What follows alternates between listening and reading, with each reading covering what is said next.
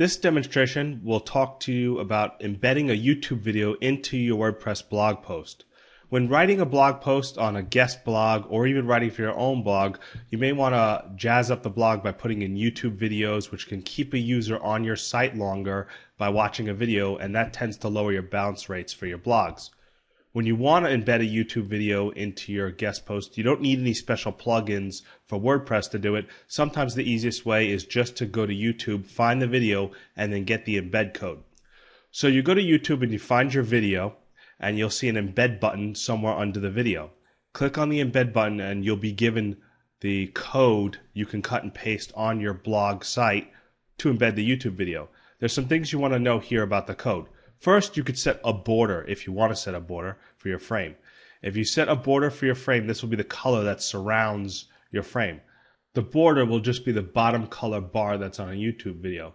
It appears that YouTube used to have a border that completely surround the video, but I don't see the checkbox for uh, setting a border around the video anymore. I wonder if YouTube actually got rid of them. You could choose to have the video play in HD, but this defaults the width of the video to 1280 pixels, which is too big for most blogs.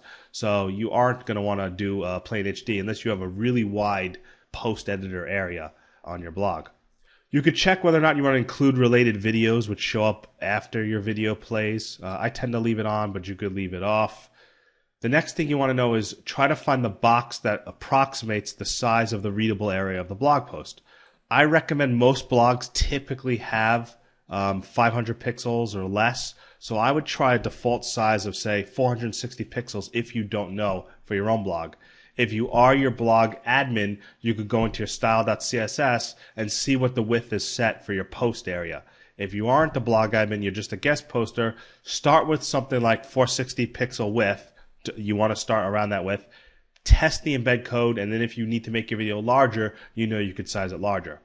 So all you have to do is select the embed code after typing in an estimated pixel width here. And I, you saw that I type in 460, it lowers it to a default of 458. Then go into your WordPress blog.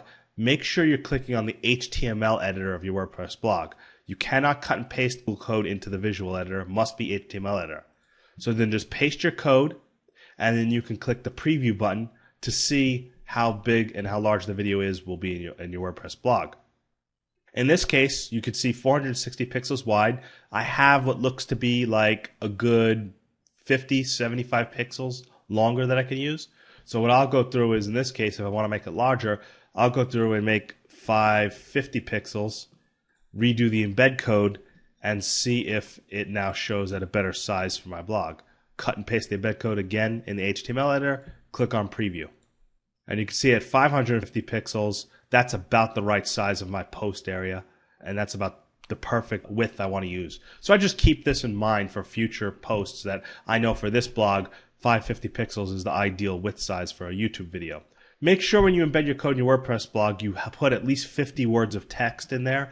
Fill out the excerpt, uh, fill out the tags, because a, a video by itself with no text will not SEO your post for the best search engine results. So you need to have some text in it describing of what video you're embedding if you want that post to rank a little better on search engines. So that's a very simple, quick tutorial on how you can go to YouTube and cut and paste the embed code for a video from YouTube onto your WordPress blog. Thank you for watching.